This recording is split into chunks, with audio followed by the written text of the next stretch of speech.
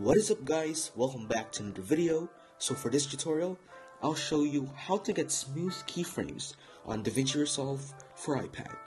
Let's get to it.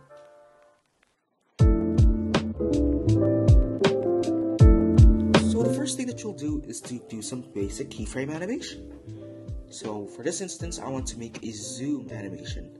So I'm just gonna select the keyframe icon and do some animation, change the parameters, all of that.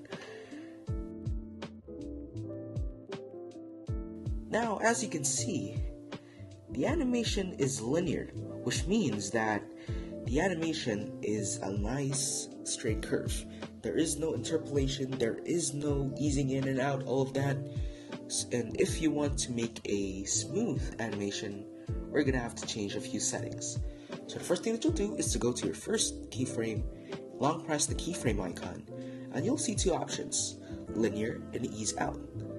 So since I want to have a smooth keyframe from start to the end, I'm going to be selecting ease out, but you do you.